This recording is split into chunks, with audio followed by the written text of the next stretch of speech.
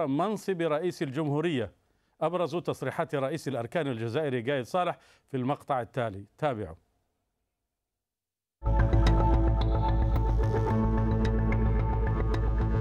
إننا ندرك أن هذا الأمن المستدب وهذا الاستقرار الثابت الركائز سيزداد تجذرا وسيزداد ترسيخا وسيبقى الشعب الجزائري يرفل.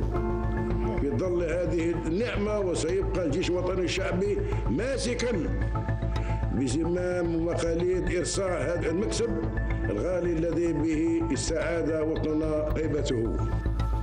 أمن الجزائر واستقرارها وسيادتها الوطنية ووحدتها الشعبية وترابية هي أمانة غالية في أعناق أفراد الجيش الوطني الشعبي الجيش الوطني.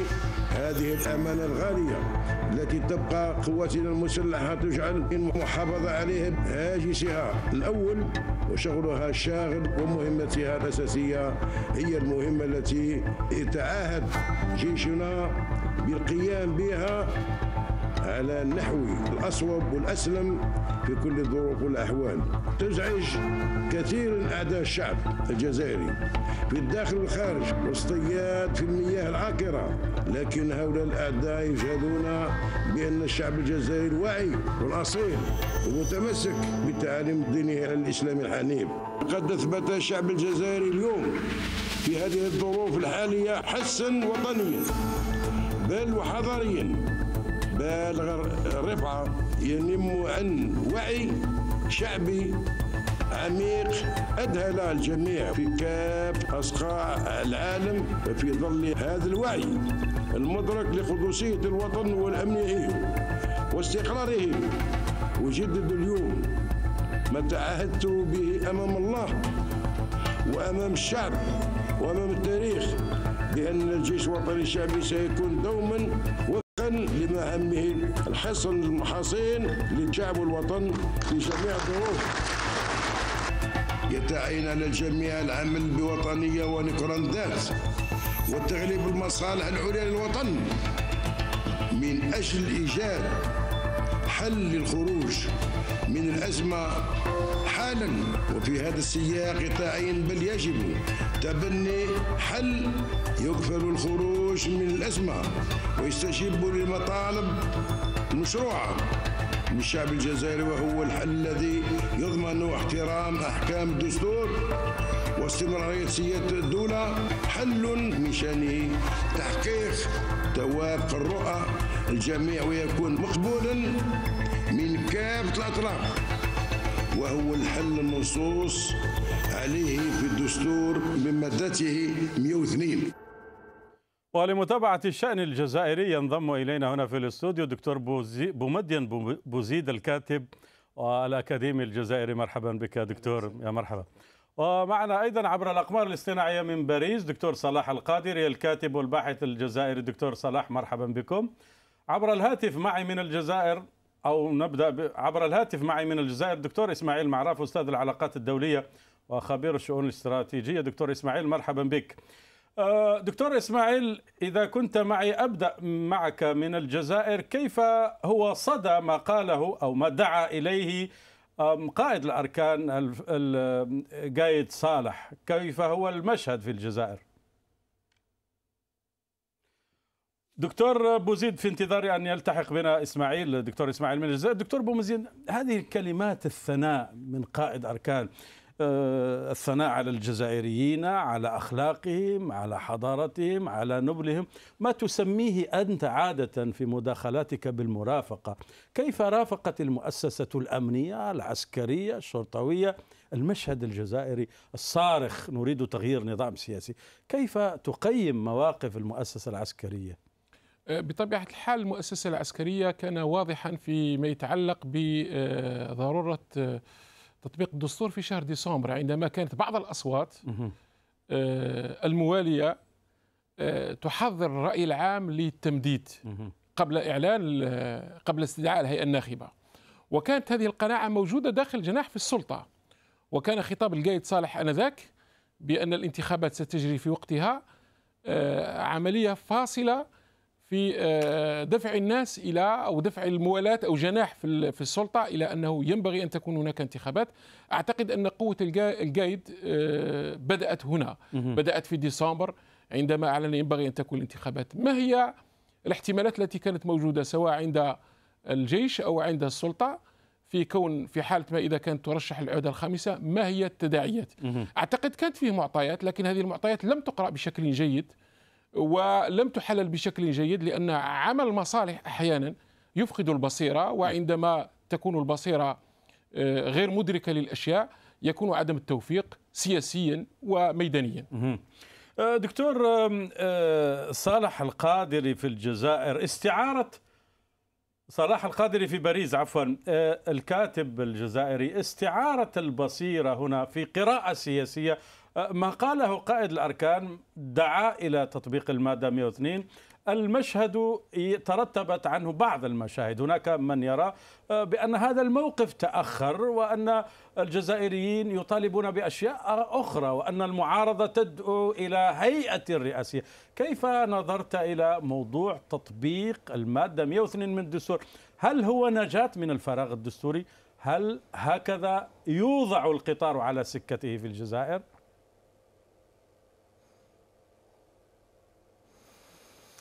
اولا سيدي لم تخطئ القلب في الجزائر والعقل والجسد هنا في فرنسا. أنت لم تخطئ استاذي محمد. يا مرحبا آه، تعليقا على كلام الأستاذ جاي القائد الأركان قايد صالح أظن أنه هو يدعو إلى حل في إطار دستوري. السؤال الذي يسأل الآن آه، ما هي هل يوجد في المادة في الدستور تقول أن من حق قائد الأركان أو يجب على قائد الأركان أن يدعو المجلس الدستوري لتفعيل المادة 102 الرجل يدعو إلى تطبيق حل دستوري وهو اولا اولا ينتهك الدستور أصلا لأن المؤسسة العسكرية لا تملك أي دور سياسي ولا صفة سياسية من خلال الدستور. اولا. ثانيا هو يدعو المجلس الدستوري إلى إعلان حالة شغور وعدم شغور منصب رئيس الجمهورية وعدم قدرة رئيس الجمهورية على أداء وظيفة رئيس الجمهورية.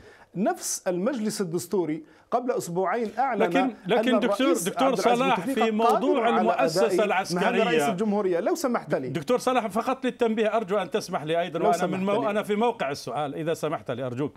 الشارع الجزائري يثني على المؤسسة العسكرية على المؤسسة الأمنية وأنت جزائري وتعرف خا وخا يعني هذه المرافقة هذا الاستئناس ليست أمرا إطلاقيا وجوبيا كان يمكن أن يفعلها قايد صالح وهو الجيش الجزائري. كما فعلتها جيوش عربية ائمر لبيك.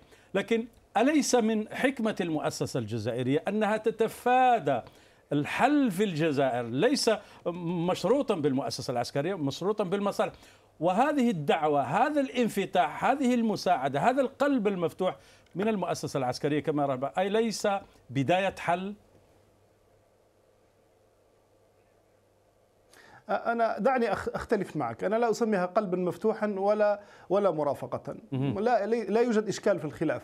فقط أنا أقول أن المؤسسة العسكرية في البداية كانت نبرتها حادة جدا وكان صحيح. فيها نوع من لا أقول التهديد ولكن نوع من الضبط الحراك الحراك الشعبي ووضع سقف محدد له. لكن يومين بعد ذلك تدارك الجيش الأمر. ثم حاول في المرأة الثانية أن يهدد الطبقه السياسية. قال إما أن تجدوا حلا وإما سنتدخل. لكن اليوم يتدخل يقول يجب أن تتخذوا هذا الحل ويدعو المجلس الدستوري. السؤال الذي يجب أن يطرح الرجل يقول يجب أن نحل نصل إلى حل في إطار الدستوري. هل يوجد في الدستور مادة تعطي الحق لرئيس الأركان في الجزائر أن يدعو المجلس الدستوري إلى ال ال إلى العقاد وإعلان شغور منصب رئيس الجمهورية آه، لا يوجد أي مادة دستورية بل هذا دكتور صلاح أرجو حتى يعني غير دستوري أساسا. دكتور صلاح أرجو أن تبقى معي. دكتور بوزيد أرجو أن تبقى معي دكتور صلاح. آه، يعني موضوع الآن في موضوع المؤسسة المدنية لنتحدث عن الفيوضات الشعبية في الجزائر. آه، قبل قرأت خبر قبل أن أجي إلى الاستوديو فتيحة بن عبو وهي خبيرة في القانون الدستوري تقول من أن يكون بوتفليقة قد كتب استقالته. هل تتوقع أن بوتفليقة يكون قد أعد الاستقالة؟ قلت لي أيضا قبل أن ندخل الاستوديو بأن المعارضة السياسية في الجزائر انتهت. ماذا بقي نعم. أيضا؟ هو في الحقيقة هو طلب من المجلس الدستوري. مين؟ يعني هو يعني ال- ال- القايد صالح. طلب من المجلس الدستوري بناء على ماذا؟ اولا من الناحيه السياسية بناء على ما وقعت فيه المعارضة السياسية. المعارضة السياسية منذ يومين طالبت طالبت في بتدخل الجيش. نعم. طالبت بتدخل الجيش. والرأي العام الجزائري كان محذر وينتظر ماذا سيقول القايد صالح في ورقلها صحيح. يعني الإعلام الرأي الدولي ينتظر ماذا سيقول القايد صالح؟ بمعنى أن مشكل آخر موجود عندنا. القناة الواصلة بين الشعب وبين السلطة غائبة إعلاميا. من الذي يشرح للشعب؟ من الذي يتكلم من السلطة؟ لا أحد. لأن لأن حتى ال- ال- القبول الإعلامي من طرف الوزير الأول أو عمامرة أو الإبراهيمي أصبح مرفوضا داخل الوسط الشعبي. ومن هنا بقيت لنا قناة واحدة لنفهم أين نحن وأين ذاهبون. هي طبعا قناة الجيش. الصورة النمطية التي عندنا حول الجيوش العربية في مصر أو في سوريا ليست هي نفس النمط. اليوم القايد صالح يخاطب ويطلب هو يطلب ولا يأمر. طبعا صيغة آه، طلب بصيغة الأمر يمكن نقرأها بهذا الشكل. كل يقرأ كما شاء. لكن يقول هذا الكلام أمام جنود بسطاء في ورقلة في الجنوب الجزائري وأيضا الهتافات التي أشرت إليها الجيش الشعب خاوه كيف لا يمكن أن نقع أن نذهب إلى الصدام؟ نعم. وأيضا هناك رهانات أخرى. أنا أقول لك كما تحدثنا أن المعارضة السياسية اليوم فيها شرخ كبير. سوف يختلفون حول هذا ال- ال- ال- الحل. يختلفون وبالتالي ال- الدولة أساسا أو السلطة تعرف ما هي مكونات ما هي مكونات المعارضة نعم. آه، دكتور بوزيد أرجو أن تبقى معي. ينضم إلينا من الجزائر دكتور إسماعيل معراف أستاذ العلاقات الدولية وخبير شؤون الاستراتيجية دكتور إسماعيل مرحبا بك. آه، مشهد الحراك المطالب الشعبية المعارضة هيئة رئاسية كيف هو المشهد في الجزائر حتى الآن؟ شكرا الاستاذ محمد. ولكن فقط انه سمعت بعض الجوانب القانونيه والدستورية وأيضا أنا حقوق والآن أنا محامي. وبالتالي أنا مضطر أن أرجع لهذا الجواب حتى أوضح. وأيضا نقطة أخرى بالنسبة للمعارضة وأنا كنت حاضر في الاجتماعات المعارضة نعم. والأخيرة وكتب المحرري ذلك البيان ولم يتكلم تتكلم البيان على تدخل العسكر بل على مرافقة بالنسبة للمؤسسة العسكرية لما يقوم يقوم به المدنيون أي اللجنة أو المرحلة التي دعونا لها داخل المعارضة من خلال تشكيل لجنة من عقلاء أو مجلس رئاسي يقود هو المرحلة الانتقالية باختيار شخصيات وطنية ذات ثقل وذات كفاءة ونزاهه وتحظى بالإجماع هذه من ناحية وبالتالي أنا افند كل ما يقال في وسائل الاعلام حول أن المعارضة دعت إلى تدخل الجيش لأننا نعرف جيدا بأن الجيش بالرغم أنه مؤسسة مثل ما يقول الرأي العام إلى غد ذلك بأنه باقية فقط بين المؤسسات ولكن أستاذ محمد بانه الجيش أيضا مجال ولا سيما صراحة في قضية إبقاء على رئيس مريض منذ 2013 وكان من المفروض استنادا للمادة 28 من الدستور التي تقضي نعم. أن الجيش يتدخل عندما تكون هناك السياده الوطنيه صراحة معرضه لخطر وأيضا أنه ربما في المادة 2 وأعتقد أنه شرحت في قنوات اجنبيه بعد قبل أن أجي أن أكون معكم في المباشر إلى ذلك انه استحالة تطبيق هذه المادة 102 هذا لأنه حتى لو فرضنا جدلا أستاذ محمد باننا طبقنا هذا هذه المادة وذهبنا مباشرة إلى المجلس الدستوري الذي سيعطي على الأقل مدة زمنية لا أدخل في التفاصيل بالنسبة نعم. لكم إلى ذلك على الأقل 90 90 يوم لكن لابد أن نعرف بان رئيس الجمهورية الحالي كان قد اصدر مرسومين. الأول هو أنهى عمل الحكومة ولم وعين فقط وزيرا اول ونائب وزير وخارج الأعراف الدستورية لأن الدستور لا يشير لا يشير إلى وجود نائب بالنسبة للوزير الأول، المرسوم الثاني هو حل أيضا الهيئة الخاصة بتنظيم ومراقبة الانتخابات. وبالتالي حتى لو طبقنا المادة 102 سنكون أمام حالة من الشغور بالنسبة لي مؤسستين هامتين الحكومة نعم. وأيضا الهيئه التي تراقب الانتخابات وكيف سنجري الانتخابات وبالتالي إنه كان من المفروض أن ال- ال- ال- القائد الأركان ونائب الوزير الدفاع أو المؤسسة العسكرية أن تلجأ إلى المادة سبعه التي تقرر بأن الشعب هو مصدر السيادة ويمارسها وفق آه، استفتاء أو وفق آه، تفويض بالنسبة لممثله نعم. وهذه ما تحيلنا أستاذ محمد إلى المرحلة قد تكلمنا عليها. الآن نأتي إلى الجانب الشق ال- الشق السياسي اعتقادي بأنه الآن أنه الناس كلها تعرف بأنه النظام أو ال- ال- ال- ال- العلبة السوداء في وضع خطير وهي تتنازل من حراك إلى حراك أي من جمعة جمعة. وليس لها الامكانيه صراحة أن تقدم المقاربات التي يمكن لها أن تقنع الشعب لأن الشعب يوم 22 أستاذ محمد آه، فبراير أول آه، انتفاضة شعبية سلمية حضارية إلى غداك نعم. آه، تقريبا ألغى الدستور الجزائري وألغى هذا النظام الحاكم إلى غداك ومارس سلطته وقال بأنه لابد أن نذهب إلى مرحلة انتقالية حقيقية تؤدي إلى تأسيس الجمهورية الأولى وليس الثانية مثل ما يتكلمون في نعم. الإعلام وبالتالي إنه الرسالة لم تصل إلى العلبة السوداء إلى اولا تورط المؤسسة العسكرية في قضايا الفساد وأيضا أن عائلة بوتفليقة وآل بوتفليقة إلى غداك الآن أيضا في نفس الوضع.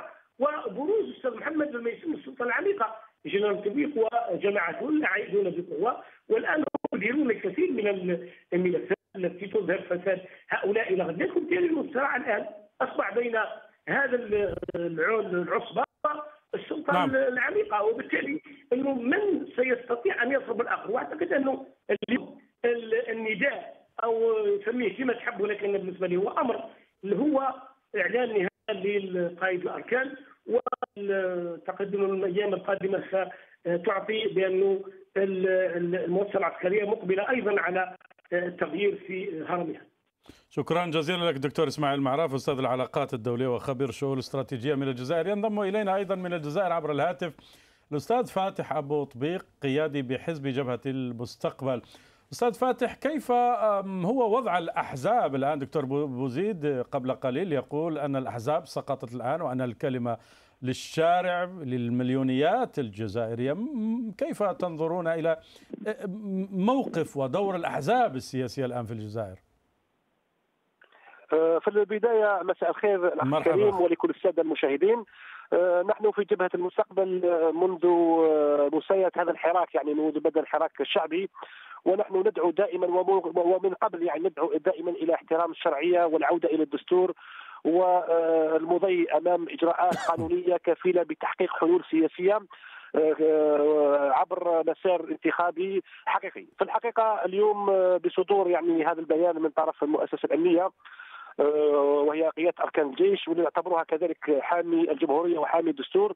وعلى ما أظن كل القوى السياسية تتقاسم هذا الاهتمام تجاه هذه المؤسسة.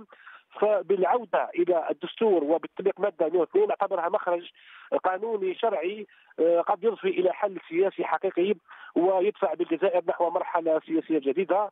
ونخرج كذلك من حالة الفراغ لأنه في الحقيقة الكل ينشد ال- الإصلاح السياسي ولكن المفتاح يبقى المفتاح الشرعي وهو العودة إلى الدستور. نعم. فتطبيق المادة 102 من الدستور كفيل ب باجتماع المجلس الدستوري بإجماع اعضائه وإقرار حالة الشهور في حال إذا كان عجز الرئيس أو الاستقالة. ثم المضي إلى البرلمان وعن طريق رئيس مجلس الأمة السيد عبد القادر بن صالح. يستطيع أن يتولى رئاسة الدولة لمدة 90 يوم وتعلن فيها الانتخابات الرئاسية، هنا سيتشكل رأي سياسي وطيف سياسي مباشرة نحو انتخاب رئيس جمهورية منتخب ببرنامج وهو يكون كفيل بإصلاح جديد وبفتح نقاش حول الدستور من جديد وحول المؤسسات المنتخبة الأخرى. نعم. أم، أرجو أن تبقى معي الأستاذ فاتح. أرجو أن تبقى نعم. معي أستاذ فاتح أبو طبيق قيادي بحزب جبهه المستقبل. أعود إلى باريس. دكتور صلاح القادري الترتيب لمرحلة قادمة جمهورية ثانية أو أولى كما يقول. أه، أريد أن أسألك عن النخبة عن الحراك عن الإعلام عن مؤسسات المجتمع المدني عن مفهوم القطيعة التي تطرح في الجزائر الآن. أه، كيف يمكن النظر إلى جزائر ربما قوية ديمقراطية مستقلة فاعلة مؤطرة ضمن مسعى ديمقراطي يبدأ الآن كما يراهن الجزائريون وكما يراهن آه، هؤلاء الذين يخرجون إلى الشارع. بداية تراجع السلطة عن العهدة الخامسة هو نجاح للشعب الجزائري أولا ولا ولا يحق لأي إنسان كان في المعارضة الرسمية أو في المعارضة الشخصيات المستقلة أن تنسب هذا النصر إلى نفسها. أولا. ثانيا آه، الآن نجا- خروج رئيس الأركان وقوله بأن العهدة الرابعة لن تمدد وأنه يجب إعلان شغور منصب رئيس الجمهورية هو انتصار ثاني للحراك الشعبي في الجزائر وهذا النصر للشعب وحده ولم يسبقه أحد بل الشعب الجزائري قد سبق نخبه بل أصبحت النخب تجري. مثلا السيد الذي كان قبلي من جبهة المستقبل لا نذكر أن رئيس هذا الحزب بالعيد قال نحن لسنا ضد العهدة الخامسة إذا اختارها الشعب. إذا الرجل لم يكن ضد العهدة الخامسة لكنه اليوم يقول أنه إذا اختار أن الشعب هو السيد. إذا لذلك ال ال الآن الشعب هو صاحب الكلمة وصاحب الشرعية الوحيدة. لذلك يجب تفعيل المادة 107 واعتماد ال 107 التي تقول بأن المرجعية الأولى والشرعية الأولى والوحيدة في الحياة السياسية في الجزائر وفي الدولة الجزائرية هي تعود للشعب أساسا أولا. ثانيا الذي قاله اليوم ال- ال- الذي الذي قام به اليوم رئيس الأركان يجب أن نتذكر بأن الشعب قد رفضه سابقا. يجب أن نتذكر أن أن الحل الثاني بعد العهدة الخامسة هو القبول بالعهدة الخامسة وانتخاب رئيس الجمهورية والقبول بسنة انتقالية ثم يستقيل بعدها رئيس الجمهورية عبد العزيز بوتفليقة أو يقيله من يتكلم باسمه. اليوم القرار الذي اتخذه قايد صالح وقال يجب أن أن يتخذ خلال إطار دستوري وأضع كلمة دستوري بين قوسين هي تعطي تعيد نفس هذا السيناريو ولكن بشكل آخر. لأن اجتماع المجلس الدستوري أولا يأخذ ممكن شهر شهرين أو شهر على الأقل. اجتماع البرلمان بغرفته قد يأخذ شهرا كذلك. إعلان حالة الشغور والمنصب شكرا جزيلا لك معذرة على المقاطعة شكرا دكتور صلاح 45 يوما. القادري ثم الكاتب والباحث هذه الجزائري. المرة أعتذر الثانية لك. أستاذ محمد تقاطعني. أعتذر لك دكتور صلاح القادري الكاتب والباحث الجزائري من باريس. شكرا جزيلا. دكتور بوزيد بومدين هذا التحول الذي أشرت إليه تراجع في المعارضة أو بين قوسين يمكن أن نقول ذوبان المعارضة بأفعال وراثية سياسية لأنه حتى المعارضة كانت منتمية منتمية لهذا كانت النظام جزء من النظام كان أحياناً. بعض- جزء بعضهم زور لهم في الانتخابات الآن كيف يعني. كيف يؤسس لمشهد جزائري قادم بناء على مفهوم التغيير مفهوم التحول أدعوك أيضا لأن تفصل نعم. في دور ال- الشارع الجزائري التظاهر الجزائري نعم. سلمية الشوارع صحيح. الجزائرية صحيح أنا أريد أن أعلق على جزئية للأستاذ المحامي المعارض الناشط عندما قال أنه لم ترد عبارة المرافقة آه، وردت عبارة المرافقة. العبارة التي وردت وقرأها جاب الله هي كالتالي. قرأها من الورقة. قال ندعو مؤسسة الجيش للاستجابة لمطالب الشعب. عندما جاء في النقاش استدرك لأنه قانوني أيضا جاب الله وعرف أنهم ور- ورطتهم العبارة فقال ندعو الجيش للمرافقة. فبقي في الرأي العام وفي النقاشات كلمة المرافقة وهي كلمة جميلة جدا و يستعملها بعض المفتشين عندما يذهبون إلى التفتيش يقول يرافق الإطارات. يعني ولكن هو يفتش ويعاقب. فالبيان موجود وتورطوا مجموعة من الأحزاب في هذه العبارة واستجاب آه، الجيش. هل استجابة الجيش نسبة 50% 40% 80% هل استجابة الجيش نعتبرها انتصارا جزئيا للحراك؟ أنا بالنسبة لي نعتبره انتصار جزئي للحراك. لأن الحراك قوتها أين تكمن الآن؟ تكمن في آه، في في آه، زيادة مطالبه فيما يتعلق بتغيير الوجوه ال- الرموز القديمة. زيادة قوته في آه، مناقشة القوانين المتعلق تغيير قوانين الانتخابات في وجود لجنة انتخابية. حرة. أعتقد أن هذا هذا ال- الحراك يبدأ من هنا. لكن الإشكال الموجود أمامنا اليوم في الجمعة القادمة. نحن أمام آه، آه، تقريبا ثلاث خيارات.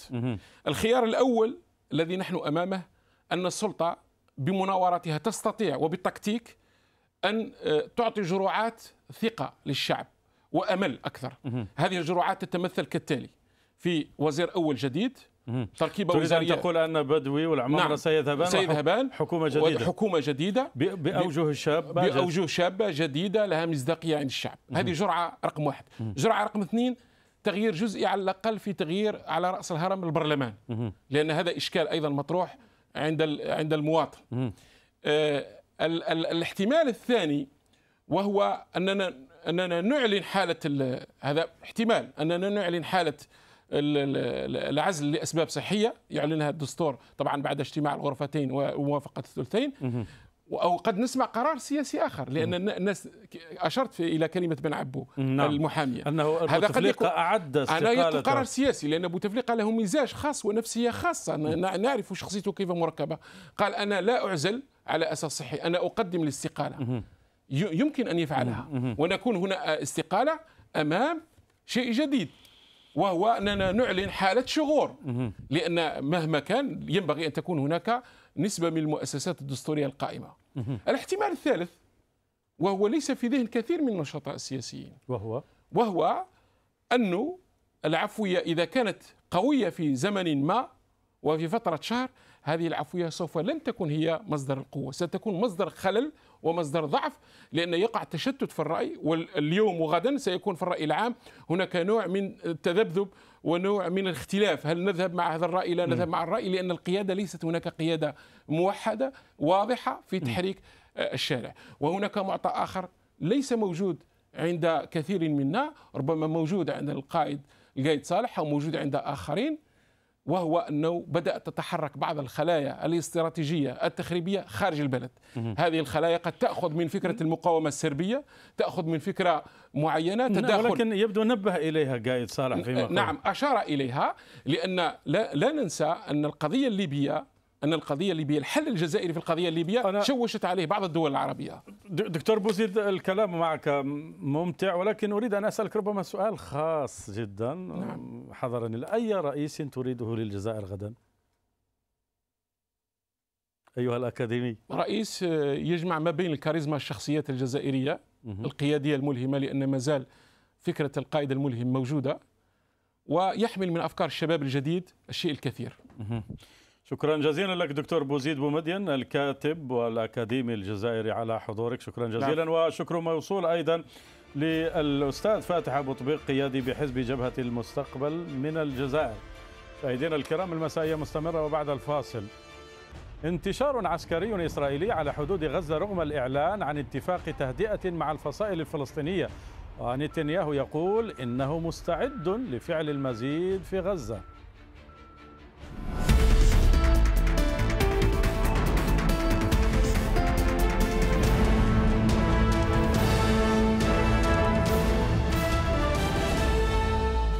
لماذا تتوسع الإمارات؟ في السيطرة على القطاعات الحيوية في الاقتصاد المصري من يستفيد أكثر؟ من الصفقات التي يعقدها الجانبان أبو ظبي أم القاهرة؟ هل حصلت شركات إماراتية خاصة على عقود ميسرة من الحكومة المصرية؟ وما هو المقابل؟ الاستثمارات الإماراتية في مصر. قريبا في المسائية على شاشة الجزيرة مباشر.